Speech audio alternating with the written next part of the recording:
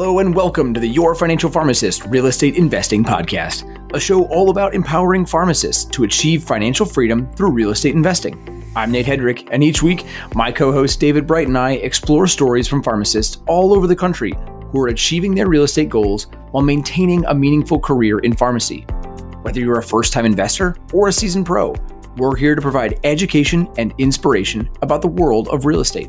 Please note, this podcast is intended for educational purposes only and should not be considered financial or investment advice. Hey, David, how's it going, sir? Hey, good. Thanks. How you doing, man? I am good. I am. Uh, I am busy. This market is insane. I have been working more than I want to as a real estate agent recently, but that's okay.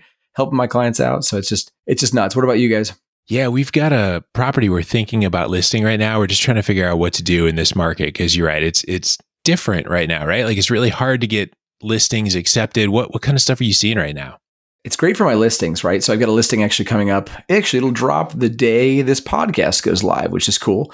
Um, so that listing is nice because listings right now are, are a little bit easier than they normally are, right? Lots of people coming through, lots of buyers available. But with my buyer clients, it's been a ton of work. It's a lot of showings, it's a lot of putting in offers, a lot of those offers not being accepted. We're struggling with the buyers right now. Yeah, and I, I, saw that there was something that went on the YFP Real Estate Investing Facebook group about some strategies to get those offers accepted and all that. So if if you're not a part of that Facebook group yet, I'd encourage you to jump in there. And there's always discussion and learning that's going on there as well. Yeah, that's a great point. We actually uh, I had an offer accepted. Luckily, uh, this this past weekend, and we had to do an escalation clause, an appraisal gap coverage and we we took our inspections. We didn't waive our inspections, but we said our inspections would be informational only, which means that we can't ask for repairs. We can back out of the deal if we find something scary, but we can't go back to the seller and say, "Hey, we want you to fix all this stuff." So it's a very very crazy market right now. Yeah, there's definitely a lot of strategy going on there, and I think unpacking that in the Facebook group where there's different people that you can bug for advice and ideas, I think can be really helpful. Speaking of advice, David, how about our uh, our guests this week? We've got uh, episode three. We had uh, Blake and Zac back. They were on a, a, previous YFP episode, episode 168. And so we brought them back on because they are uh, they're just blowing it up in the real estate world. And so we had to make sure we brought them on. They're really encouraging. We we had a great time talking to these guys. They're they're all about the networking. They're all about the partnerships. It just it was a really easy conversation. I think that uh, our audience is really going to like this one. Yeah, they had a, a fun story in there. Speaking of like the phone a friend asking for ideas, where they literally just did text a mentor of theirs when they were just in a bind trying to figure out what to do. And the mentor gave them a fantastic idea that ended up being huge for them, turned the, the deal around and made it a huge success. So stay tuned for that story in the middle. That's that's kind of a fun one. Definitely. And and if you want some practical tips, especially getting started, because I think even you know in this market in and really in any time when you're trying to get started get off the ground get that first property it's really hard to get practical you know what can i do next tips? And they give some really great stuff at the end about that getting started about how to actually take those first steps down the road which is really cool. Yeah they had one other thing in there about doing the math for a real estate investment for a, a long-term rental and how to make that simple and straightforward, how to how to get through that without the analysis paralysis. So even when we talked about some other fancier ideas and ways that some people do this, they just have some pretty straightforward numbers that make this just really simple to think through. And I think that's especially helpful for someone that's trying to get out of the gates. Yeah. Yeah, this is a great episode. So I hope you guys enjoy it. And uh, we'll take you to the interview now. Hey, Blake, Zac, welcome to the show. Hey, how's it going? How's it going? Thanks so much for being here. I really appreciate it. You're glad to join you guys. Yeah, well, we had you back on the YFP main show back on episode 168. And uh, we just knew, you know, based on your story, based on what you guys have been doing, the growth we've seen from you guys, we, we, we just had to have you back. So we're really excited to have you here. Yeah, thanks for thanks for inviting us. Yeah, appreciate you coming back. Always enjoy it. So for those that didn't hear episode 168 or haven't checked it out yet, can we start with your your pharmacy story a little bit? I think you know one of our main loading dose questions here at, at, the YFP Real Estate Investing Podcast is to get the the pharmacy story first, and then we'll dive into the real estate stuff next. So I have worked in pharmacy since I was 18. I'm 33 now, so pretty much my whole life I've been doing this thing. Went to pharmacy school at University of Arkansas, graduated in 2013, and I've done community pharmacy ever since. Currently, I work at a independent pharmacy in a town called Conway, which is north of Little Rock, about 30 minutes north. Just your typical mom and pop pharmacy. Really enjoy it. Been doing that for a long time, and hopefully, I'm there for for a lifetime. I love it. I love it. I, I grew up in the drugstore world too. And so I love hearing community pharmacy, that love for community pharmacy coming through. So that's awesome. Really enjoy it. Could you tell us a little bit about your why behind real estate, how you got started, why you're doing it, and what you're doing now? So I had, uh, if you've listened to the original YFP podcast, I was on there with Joe Baker and one of the, mm-hmm. I don't even know what number episode it was, but he taught a uh, financial pharmacy literacy class during our third year, and I took that. And at the time, I was just blowing money. You know, you would take out the max amount of loans and just buy whatever the heck you wanted.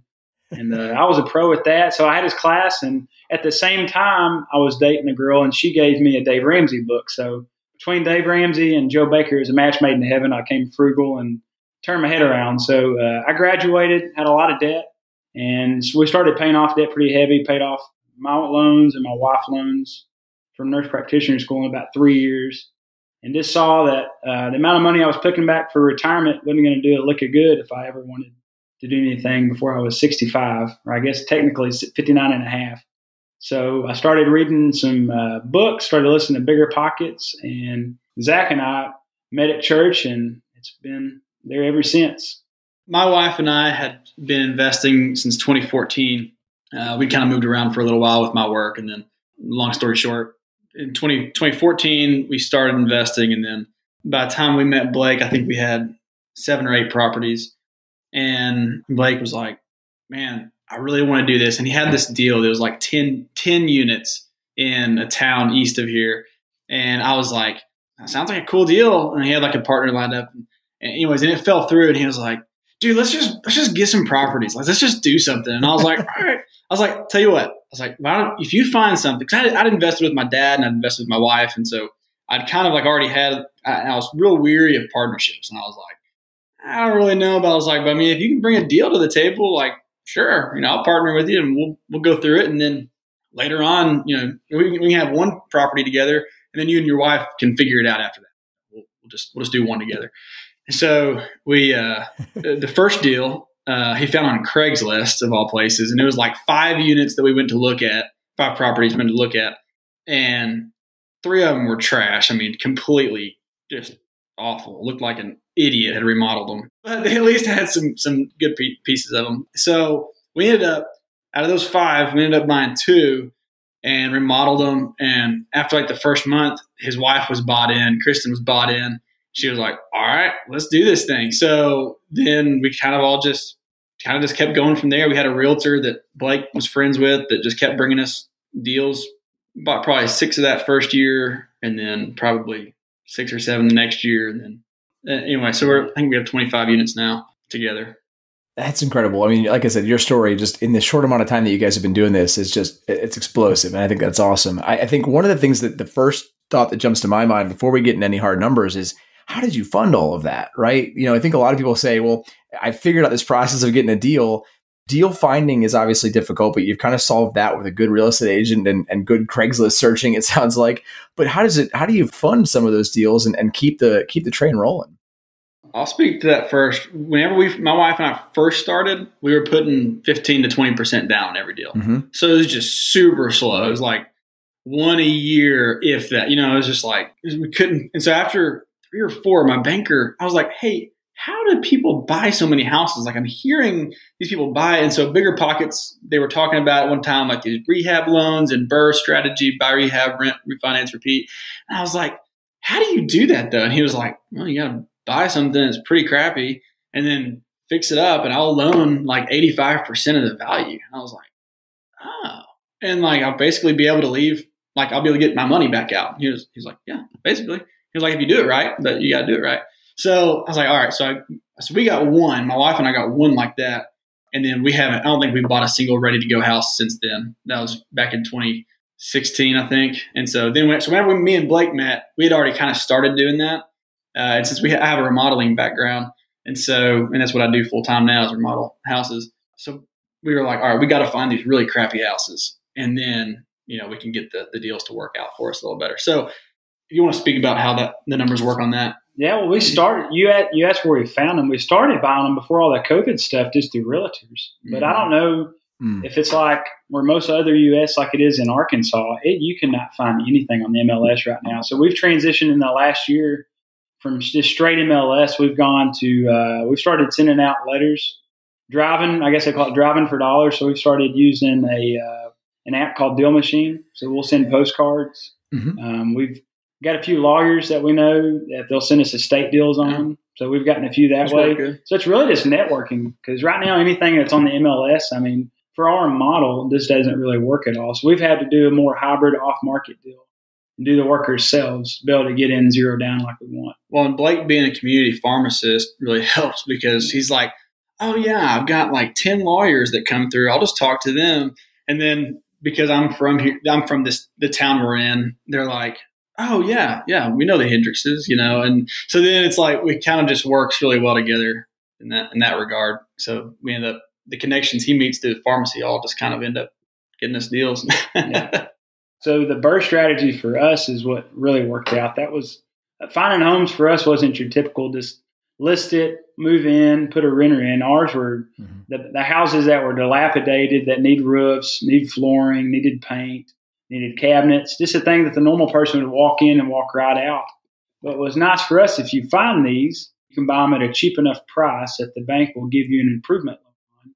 And typically, if you buy it right, off market, or back in the day off MLS, you could get it at a good enough price to get your improvements in the loan that the bank offered. So you'd buy the house, you do all your improvements, and then on the back end, you just rent it out and refinance your money out. That strategy's worked real for us, real good for us, but we've had to get off market stuff. Yeah, because that allows you to repeat that capital and just keep keep the train rolling, which is yeah, which is the whole yeah. goal, which is awesome. So that's that's great. And it, it, it's it's cool because you know Zac, you mentioned you basically just went to the, the bank and you didn't have to know everything, right? You went to him and said, "How do people do this? Like, help. Here's what I want to do. Help me get there." And like you said, with good networking, good communication, and just simply asking that question, you guys got to to where you are today. So that's that's incredible. I always I always found that finding the home was the hard th- or the easy thing to do. I could talk a I could talk a horse dead. I mean, that's finding stuff's fine for me. but it, the hard part as a pharmacist is you just analyze every little detail. So I think when I first started back in 2017 reading about this, I looked at probably 15, 20 deals before Zac and I had even talked about it. And it took me a year and a half just to do it. So for for me, I think finding the deal is the easy part. I think it's capitalizing on that first step of buying the property. That's the hard yeah. part. Yeah, I think most people, I would agree with that because most people, pharmacists, not pharmacists, doesn't matter really who you are. Mm-hmm. You, you you're, it's so risky. It seems so risky, and it's, you overanalyze everything before you get your first deal, and then after you get your first one, you're like, oh, that's not that big of a deal. No, that's a that's a great springboard because one of the things we wanted to spend some time on today is how do you analyze that deal? How do you know what is a deal? How do you know whether you should jump at this or whether you should hang back? So I know that that rings true in pharmacy where mathematical accuracy is a really big deal for patient care and and certainly can be a big deal with making sure that a deal works in real estate. So can you walk us through a little bit of what makes a deal a good deal. What are the kind of things that you look for that tips you off that I think this is one worth doing some deep math on? And then let's take a minute and do some of that math. I guess you want to start out maybe talking about some terminology you use just to break down how we analyze, and then I guess we can go from there. That'd be great. Yeah, typically what we do is we're looking for a minimum of a hundred dollars profit at the end of the month on a deal. But describe the hundred dollars. So that sounds like terrible. Yeah, hundred dollars sounds like not not good at all. So basically, what we're looking at is we're taking a deal. So say a house rents for a thousand dollars a month.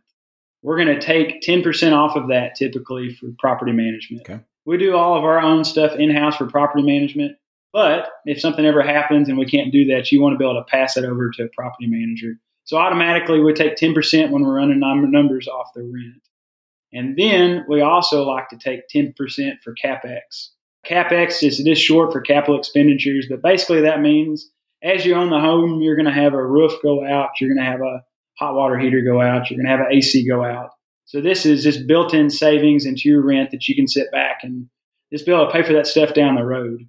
So that's 10% for CapEx, 10% for property management. And then we always like to throw in this couple percentage points in there for vacancy. Depending on where you're at, I mean, that can vary. In Conway, there's hardly any, so we usually run about 3% vacancy. Sometimes we'll run 5% if it's a duplex, but majority of the houses I run is around 3%. So what we'll do is we'll take that that $1,000 rent, take 23, 25% off of it. So that 25% off of that would be 750 bucks. And if that would pay for the uh, taxes, the insurance, and the mortgage, and we can still clear a 100 bucks a month. It seems like a good deal to us. And and part of that, the reason we chose that number, hundred dollars, is we said, hey, we want to be super aggressive. So some people were saying, people we met with was like, oh man, I wouldn't even look at anything if it was running for, if it was cash flowing less than five hundred dollars, four hundred dollars, whatever. And we said, you know, we just aren't seeing that in our market that you can get that, you know, maybe sometimes, but I mean, we're buying some pretty good deals and they're not cash flowing after we take out all we take out. And so we said, you know, at the, at the end of the day, we know that the houses we're buying, we're going to get the four benefits of real estate, which is we're going to get a little bit of cash flow, we're going to get appreciation, we're going to get the tax benefits, and we're going to have the somebody else paying down the mortgage, so the loan pay down.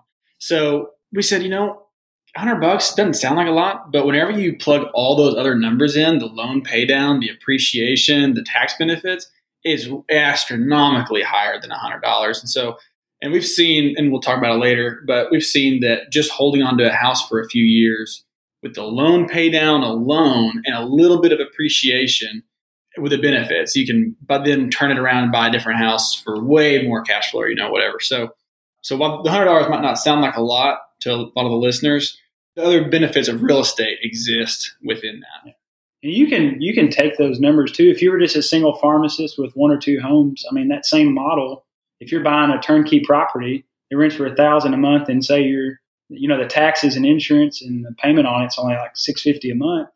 Literally, you're clearing three fifty if you're if you're doing that yourself. So that's four grand a year, and this money coming your way. So mm-hmm. if you look at it that way, I mean it's already done every 10 years you might have a $5,000 roof. I mean, you might just cash flow that yourself. So even that for us, I think we could take that and apply that just to a single individual, buying them for just a couple properties too.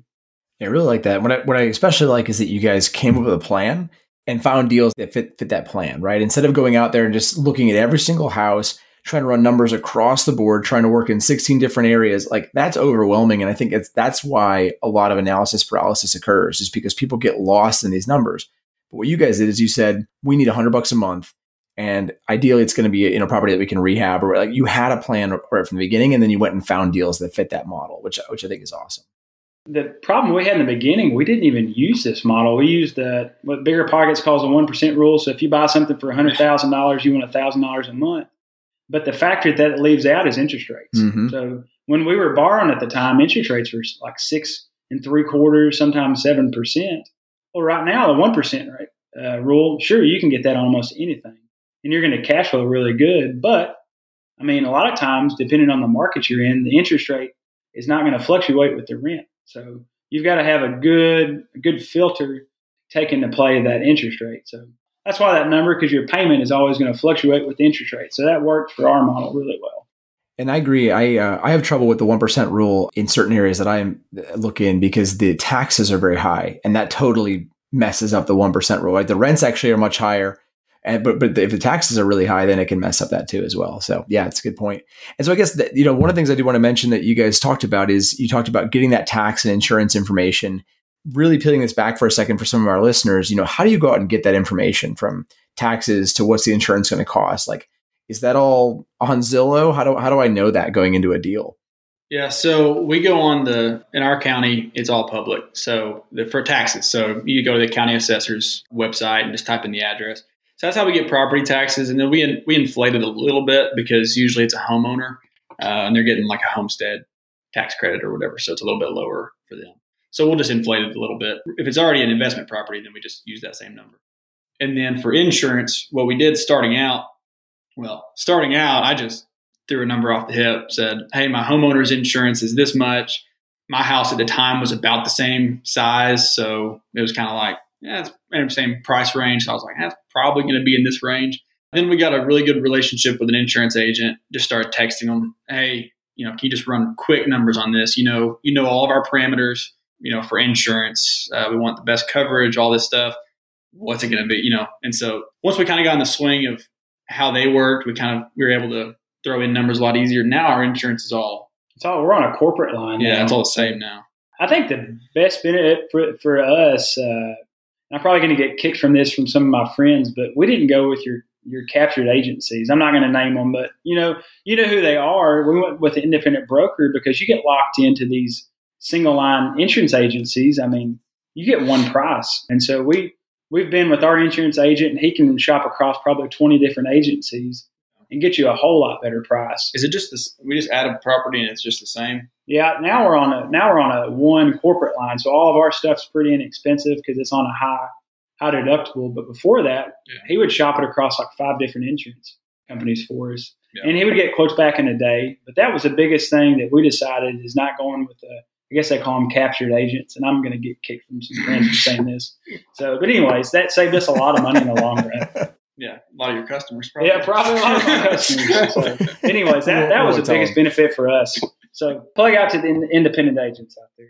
You also mentioned uh, the the capex in there, and and you guys are in a very different market than than I am up here in Michigan. It's not super common for rental units up here to have air conditioning, and I'm assuming where you're at, that's a must. So, yeah, I think that there's probably some market differences, but but how do you how do you figure out like is that 10% always a good number or is it like a big four bedroom house to be different than a little two bedroom or or like how do you how do you put all that together we use the same number. We use the same 10%.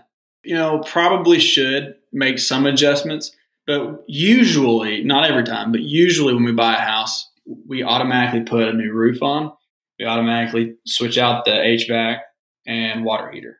And usually, well, nowadays we're doing sewer lines because we've had such bad issues with sewer lines going going bad. And whenever you have a renter in a house on a crawl space, a pier and beam house, and your sewer line busts, underneath the house and they smell that stuff for so long, you know, it's like, all right, we're just going to start changing out sewer lines uh, before anybody moves in. So we had like two two go out in 2019. We were like, yeah, we're never doing Never this again. again. Uh, so so we we kind of we're trying to make them. You know, we buy a lot of old houses, and so can you cover everything ahead of time? You probably can spend a fortune, but we try to get as much as we can ahead of time. And then, so the ten percent we use, it's a pretty good number, but probably need to adjust it sometimes. If you know you go from a thousand square foot house to a seventeen hundred square foot house, that roof's going to be Yeah. drastically more expensive.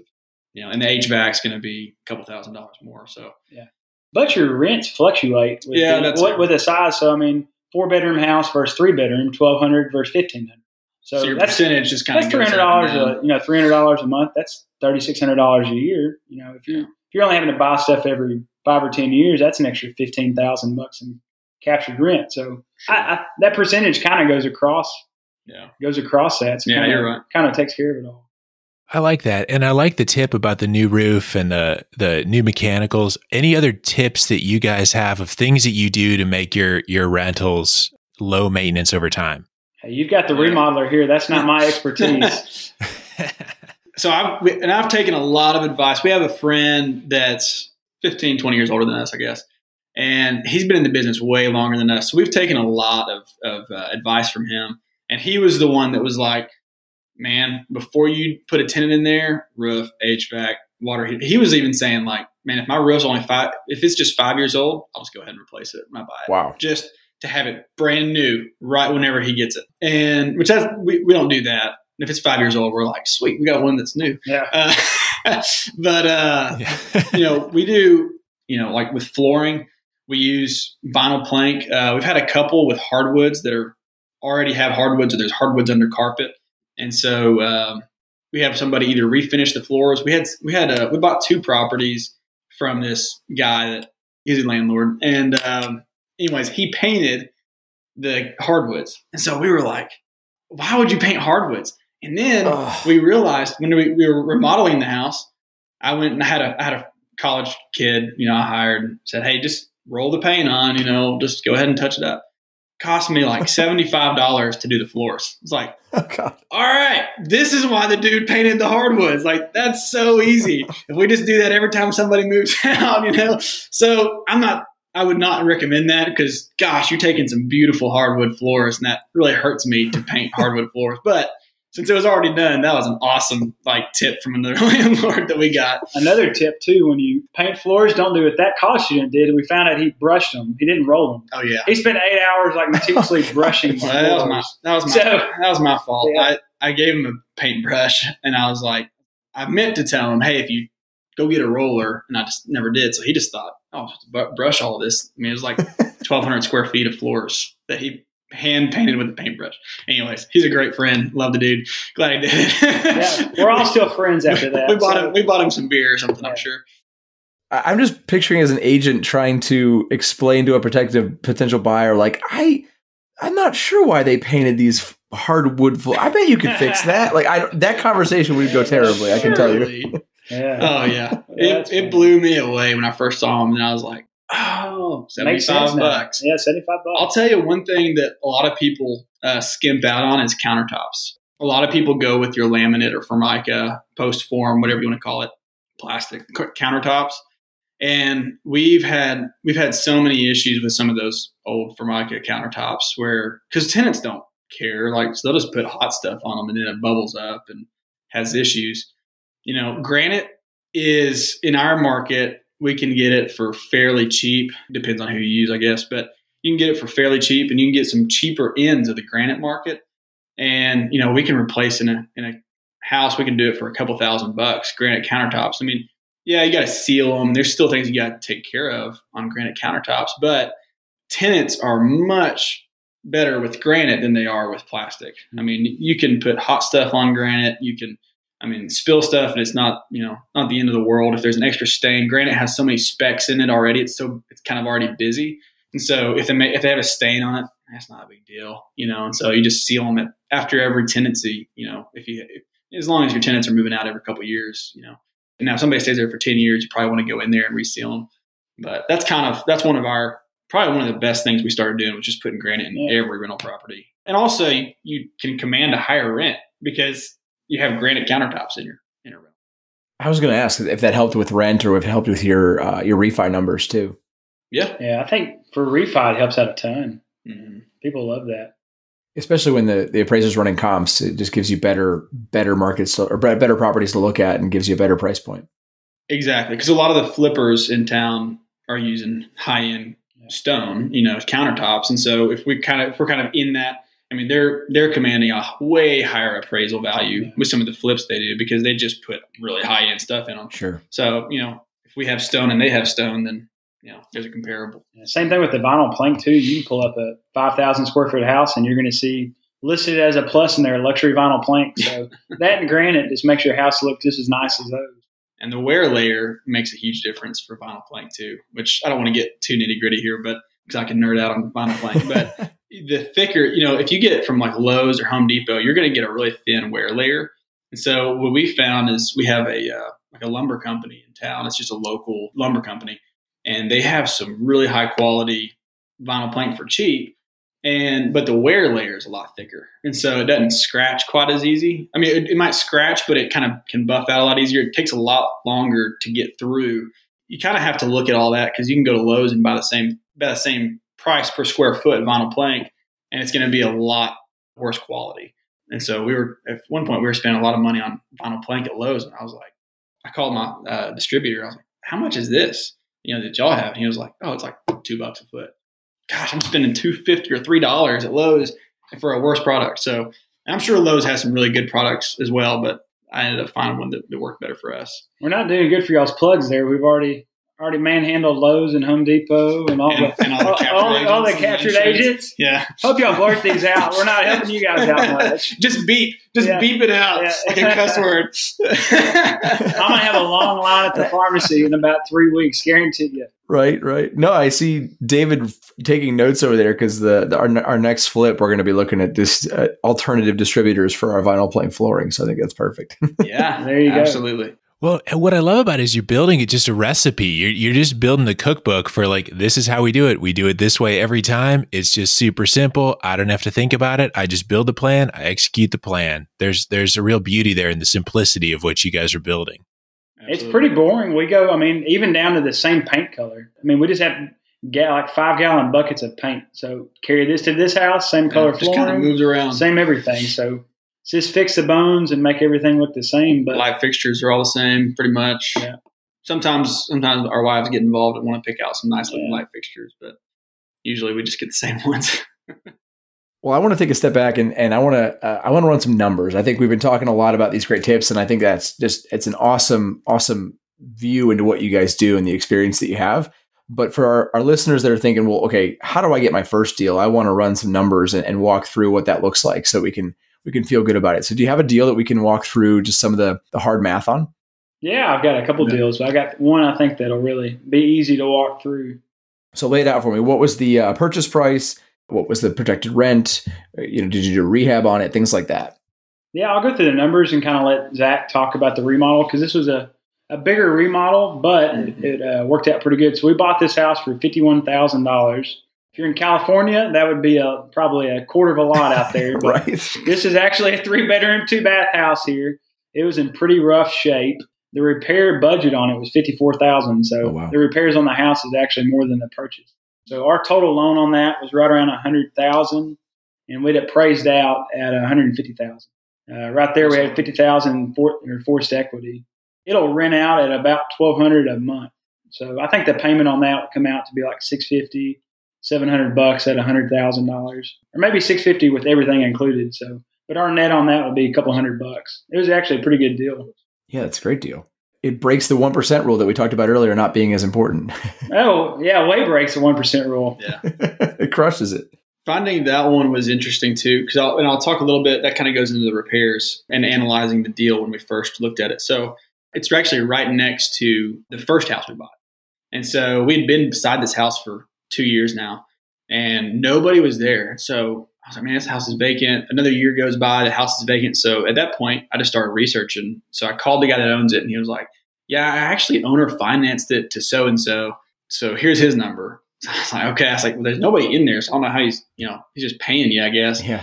So I called him. This is probably 2019. I called him. Yeah. Yeah, and and he goes, he was like, "Nah, I'm remodeling it." He he owned a foundation company, and he was remodeling, and I was like, "Sweet, like that's awesome." You know, just holler at me if you need anything, you know, or whatever. If you ever want to sell.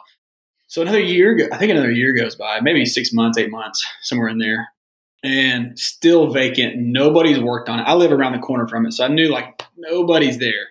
And so I finally I called him again, and he's like, "Yeah, okay, I'll consider selling it." So I met with him, and I got to the house, and he's like, "Yeah, my wife's actually pretty like pretty upset about that. I still have this house, and we haven't gotten it rented out yet. Like we we got to get rid of this thing. Like she's pretty upset." So I was like, "Hey, you know, I can take care of that, no problem." So started looking at. it. He's like, "Man, I've done all the foundation work on it." So basically, brand new foundation. I mean, he owns a really high end foundation company in town. He uh, his cousin owned an electrical electric company, so he put all new wiring in it. He had a new panel box, uh, everything. Another cousin of his or friend, somebody owned a, a HVAC company, so they put a brand new HVAC service in it. Like I think it was about five years ago. Everything was in. He furred down the ceiling to get new ducts run in to the house. So was- everything was super, super updated, but it just wasn't finished. So like we walked in, it was it was a war zone. I mean, there's like holes in the subfloors where they'd been doing some plumbing work, and and like there's no sheetrock on the ceiling or walls. The windows are busted out because they, I guess they had some vandalism since it had been vacant for a couple of years. So, uh, so we were like, man, what are you trying to get out of this thing? He was like, all I want is what I have in it. And so we were like, okay, sure. Wow. So he told us 50, 51,000. And so we just said, sure, you know, we'll, we'll go for it. We'd looked at enough deals, I guess, at that point where we just kind of ran some, some pretty quick numbers on what it would cost to fix it up. And we, we ended up doing a little bit more than what we planned on. I wasn't going to do all new cabinets. And then it was just turning into a beautiful house. And so I said, man, we're just going to do new cabinets. So, uh, and we had some rot underneath the cabinets, so we were going to have to pull them anyway. So we ended up doing new cabinets. That added probably about three grand. The guys that work for us built them, so it wasn't wasn't too bad of a deal.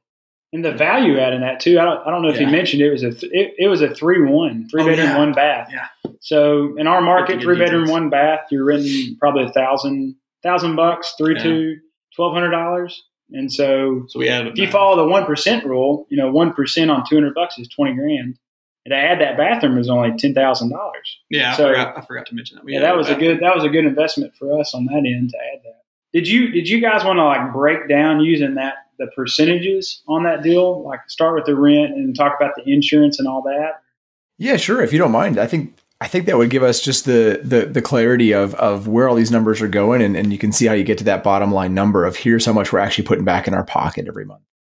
Every deal that we get, we get an in-house balloon note. I'm sure uh, that'll be talked about on the show sometimes. But basically, our notes are five years long, and they the bank amortizes them over 20 years. So if you take your typical home mortgage, they're amortized over 30. The notes that we're getting are amortized over 20. If you're looking at our payment on the house, the insurance on this house was going to be roughly 650 bucks, and the taxes are about 650 bucks. And so if you ran those in, I always use Zillow calculator. Plug in Zillow for you guys. They've got a really good calculator. If you plug that in there, the house with the uh, insurance and taxes is about $700 a month. That's our payment on the house. And so if you take the 1% rule and take the 20% off of that, or the 25% off of that, so 1200 times 0.75 be $840. And then you take the payment off. 730. Yeah, 730. So 110. So net 110 bucks. This one we do in-house uh, property management. And so right now we can run it at 80%, 82%. So on our end, it's netting almost a couple, a couple of hundred dollars. But worst case scenario, we can hand this deal over to a uh, property manager and still net our hundred dollars a month. That's fantastic. Yeah, that's awesome. I really appreciate you guys walking through that. Yeah, you bet. Yeah, you're welcome. So that kind of leads me to the next question of this is definitely sounds like a success story. You were able to get this thing, have a lot of built-in equity, you were able to get the loan, pull your money back out. At the end of the day, it's producing cash flow for you. It really sounds like a, a winner of a deal. Have you ever had something that wasn't so much of a winner? And what do you do when you get something like that? We had we bought this house that we thought was going to be the best house in town. I don't know if y'all have ever been there. You see this and like this is going to be a great deal. Yeah. It's set two two houses back off one of the busiest streets in Conway. Right in front of it was like the park where all moms go hang out with their kids. Like I mean, it was picturesque. It's like Gilmore Girls. Just mean, got a brand you were new- there. Just had, just Yeah. had a brand new. The city just put a new splash pad in, which I don't know if y'all cities have those, Mhm. but in the summertime, these kids go. I mean, it's this massive splash pad where the kids can just run around and play. So we were like, man, brand new, like state of the art tennis courts just built across the street. We're like, this thing is going to be incredible. So we bought it and got her actually a pretty good deal on it. I think we were all in on the house at about hundred thousand dollars, and it got to rent it. We listed it for I think eleven hundred and fifty bucks, eleven hundred dollars. Two weeks went by and we didn't hear anything. Dropped it down to about a thousand dollars. Two weeks went by, still didn't hear anything. We ended up renting it out at nine hundred and fifty bucks. If you were to take that same house and move it probably two streets over off the busy street, it would have gone for twelve hundred dollars in a day. Wow. No, no kidding. We held on to that house for two years. Two years, yeah. What kind of got us out of that house was we had uh, a guy that I worked for a long time ago. It's a pharmacist. I was a pharmacy tech at the time uh, back in college. And then his partner was a pharmacy tech that I worked with. So they actually contacted Blake. Blake worked for his son-in-law. So it was another one of those kind of mutual mutual contacts we had. And he called Blake and he was like, "Hey, I heard you've been buying some rental properties or you know whatever." He's like, "Would you be interested in uh, one of ours?" And so he said, "Yeah, absolutely." So it was two duplexes, and they're one block off of the main University Street, so Donaghy Avenue in Conway. Like the College of Business is right here by U- University of Central Arkansas, and then so it's one block off of that. So it was like really good location. We already have a couple in that kind of area, so we know they rent good. Blake was like, "Yeah, sure, we can look at them," and we looked at them, and it was just like the numbers just didn't quite work with what they were wanting, and their need to sell had there were some health issues, and so we really didn't want to be jerks and like talk them down a whole lot. Like we wanted to be able to have a win-win situation. We were in uh, Lake Taneycomo or something like yeah, that. had, I had one weekend. I had analysis paralysis like we all get for a minute. I was like, this can't work with that as putting thirty thousand dollars cash in, which I did not want to do at all. yeah, That, and so we we were at in Branson, and I sat down. and I was like, what if we sell a house? What if we just sell a house and use that as our profit to do the remodel? actually one of the, our friends that uh, that I was talking about earlier that's given us a ton of really good advice. You know, he had, he's a lot further in the journey, so he's his numbers look a lot different than ours. He's able to put a lot of money in to properties, uh, and so he has that fortune. So we te- we just texted him like, hey, you know, we're thinking about buying a couple duplexes. We really need to offload a property. You know, would you be interested in this one? We need to, we need to sell it for like one twenty five or something like that. Yeah, one twenty five with owed ninety on it. Yeah, yeah, we owed ninety at the time. So he goes, yeah, sure, okay. Yeah. How do you want to do this? You know, and he was like, I mean, I trust you guys, so Yeah. just write it up and I'll look at it after we purchase it.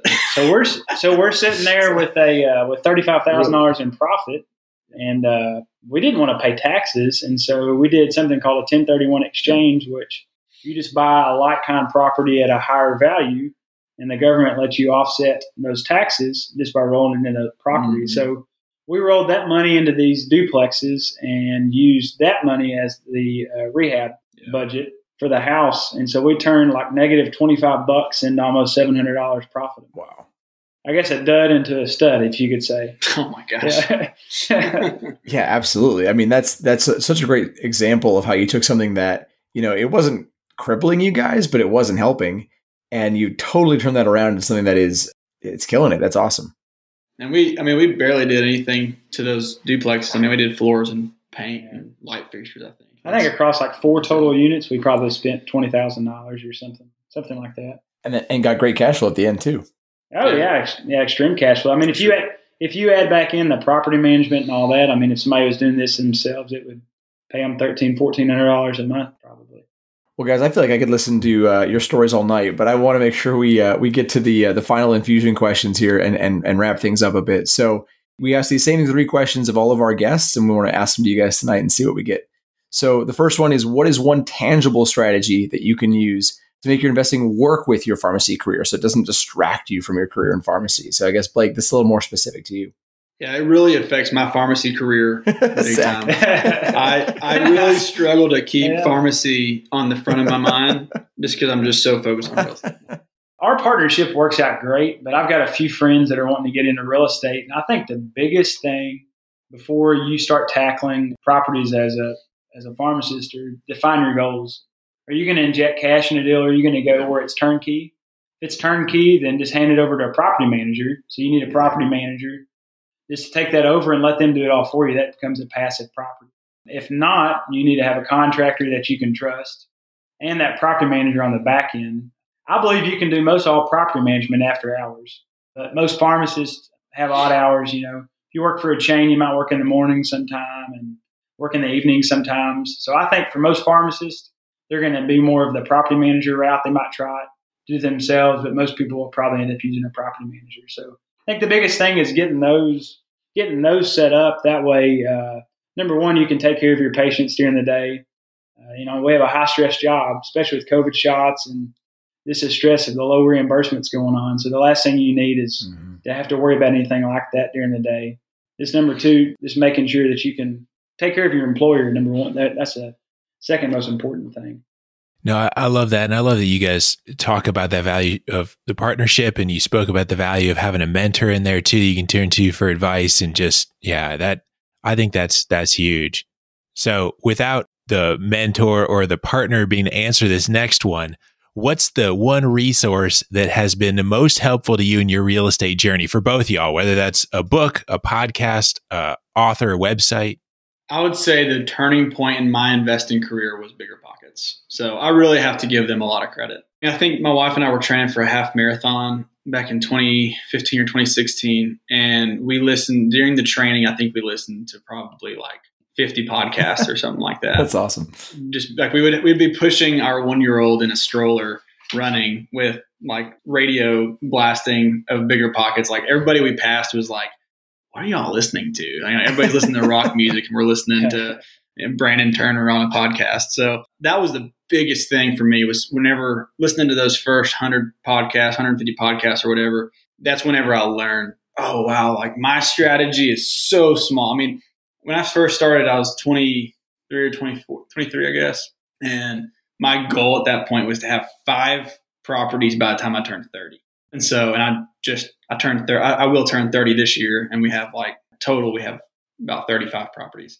So it's like my goals went from little bitty tiny goals to exponential goals whenever we found bigger pockets. Cause I, I mean, I, there's no way I would have found twenty thousand dollars every couple months to put down payments in. Yeah. You know, and that's what Bigger Pockets was big on was teaching you kind of the strategy of how to how to do it. And the forums obviously were, were very helpful. So that was that was a really big resource for me. So we, we nerded out this past February. We went skiing in Colorado, and so that's where the Bigger Pockets headquarters are. So we had to make a little surprise trip over there. Got to meet Scott Trench, which is pretty cool. Yeah. So, that's awesome. Anyways, that was fun. So I, Bigger Pockets for me was probably the same thing all the books that they offer and just the guests and stuff that they have, really anything that you need to start and just get a hold of is in that. For, for us starting out and even still now, if there's something we need to know, you can go on the forums and find anything. Mm-hmm. That was a huge resource and still is for us. Well, used to you had some really like you had gurus, you know, that were you know mm-hmm. the high end. They have huge apartment complexes, and you can buy into them and all that. So that was kind of the only resource for a long time, I guess. And so whenever you hear normal people on a podcast. I mean, just like kind of like me and Blake, like you hear normal people that are investors and they're killing it, and you're like, oh dang, I could do that too, yeah. you know. And so it's a lot more personal. So I think that's, I mean, that's, that's probably part of the whole podcast, like reality that we live in now is like we can, you can have these conversations, which is incredible, like YFP, like we can have these conversations, and now more pharmacists can go, oh, I want to be like Blake, I want to be like David, you know, like you can actually relate to people a lot more instead of going that dude, he owns like $10 million in real estate. I could never be him. I think that's, that's helpful. Yeah. That, that's big for us is, is finding something that is attainable, right? Not just talking to those people, like you said, that have, you know, $10 million portfolios and, and 100, 100 units here and there. It's like, that's, that doesn't feel like I know the next step, right? But if you talk to somebody who's done it, you know, for three years and, and scaled up like this, you know, that's a great person to model after. And that's kind of exactly what we're going for is that same field.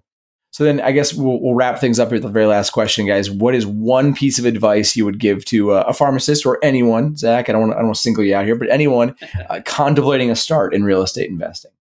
Man, I would tell pharmacists number one, have your debts paid down. You don't need hundred thousand dollars in student loans trying to buy a property. Dave Ramsey. yeah, Dave Ramsey. Go for the Dave Ramsey or Joe Baker's book. He's YFP, so you got to give Joe. Got to give Joe a plug. Baker's Dirty Dozen. It'll lead into that that pharmacists have cash flow coming through. Your job creates lots of cash flow. So where most people are trying to sit down and figure out a budget of how to have that saving, built-in savings, the cash flow, a hot water heater or an AC, they just you've got that. So once you've got that done, just start doing it. That was my biggest thing was trying to figure out all the what ifs. But mm-hmm. most small things in a house, you can cash flow in a month. Just get started, but have the debt paid down. I'll add on to that. The only thing I'll remember from college, which is terrible, but the only thing I actually remember from college that I can like take away every day is I had this professor, I'll shout him out, Dr. Bradley. He was this older guy, had a ton of business experience. He'd walk into class and he'd, you know, he'd make his pants up and, you know, he, he was doing a small business class with us. And I was trying to start some weird business. I had a business plan that it wasn't going to work anyways, he comes up to me and he's like, "So what's keeping you from doing it?" I was like, "Well, I mean, my business plan kind of sucks. You know, like I had like a lot of excuses. I like the money, like I just don't know how I'm going to find the money and all this stuff." And he he, he grits his teeth and he goes, "Listen, son, sometimes you just gotta pull the trigger." And I was like, dang, like you're right, I should. And that business didn't go anywhere. But when I got it started in real estate, you know, it was the same thing. It was like you just gotta pull the trigger. You just gotta do it. And we have we have several friends that are like about to start real estate investing, all that, and I'm like, look, like you just do it. Just get started. If you can get one house, even if it's, I mean, I know this is probably the worst advice, but even if it's not a great deal, you still have a property. You're gonna learn. So say you lose $100 a month. That's 1200 bucks a year. Sounds like a pretty cheap education. And then you sell it in five, 10 years, you end up probably looking like a genius unless you bought in, you know, Detroit in 2008. But most likely it's going to appreciate over time, you know. And so it's okay. Don't don't get bogged down in, oh, I have to get this, I have to get this. Get a property. And then eventually it'll kind of work itself out and you'll learn it and be able to replicate that and realize this is what I did wrong. I'm not going to do that again. These are the deals I want to find. This is the banker I'm going to use. This is the contractor I'm going to use. And then you start getting a system figured out, and then you can actually start buying really good deals and, and creating a really good portfolio. But you have to get that one, or else you're just going to be floundering, being a wannabe real estate investor. And then you're going to wake up and you're 45 or 50 or 60 or 70, and you're going to go, man, I wish I would have gotten in real estate and I never did. So I think that's uh, that was probably the best thing that that professor ever taught me. I love it. I, think that's that's super solid advice from both you guys. You, you guys are obviously you know wealths of knowledge, and I really appreciate you guys being on the show today. It's just been uh, it's been a great pleasure talking to both of you. Hey, thank you. Thanks so much thank for having us on. Yeah, thank you guys. Even if I am an imposter, not a pharmacist. That hey, that's all right. Like I said, we you're the first uh, non-pharmacist on the show, which is perfect. So actually, well, Tim Baker yes, too. So I'll I guess yeah, you, you can compete uh, with him for that. so yeah, so I guess the, we'll just wrap things up, guys. With uh, where, where, can people find you if they want to reach out and you know hit you guys up? My pharmacy emails be easy to uh, do. So Blake at smithfamilypharmacy.com. I don't have any social media, neither does Zac. So we're boring people. So yeah, Blake at smithfamilypharmacy.com. And I'd be glad to answer any questions or connect with anybody in that way. Our website for our, uh, our remodeling company is hendricksremodel.com. So I can, I can send you the, the link to that. Yep. We'll put it in the show notes. That's perfect. Guys, really seriously appreciate it. I uh, again, I'm sure we'll have you back at some point because you guys are just you're, you're, taking off, and we want we want to be along for the ride. So appreciate it. We'd be love yeah. to come back. Yeah, thanks so much. All right, have a good one. Thanks so much, guys. Thanks so much for joining us for the YFP Real Estate Investing Podcast. If you liked what you heard on today's episode, please leave us a review and subscribe to the show so you never miss an episode. If you have a question, know someone who'd make a good guest for the show, or want to connect with Nate and David, head on over to yfprealestate.com or join the growing YFP Real Estate Investing Facebook group. See you next time.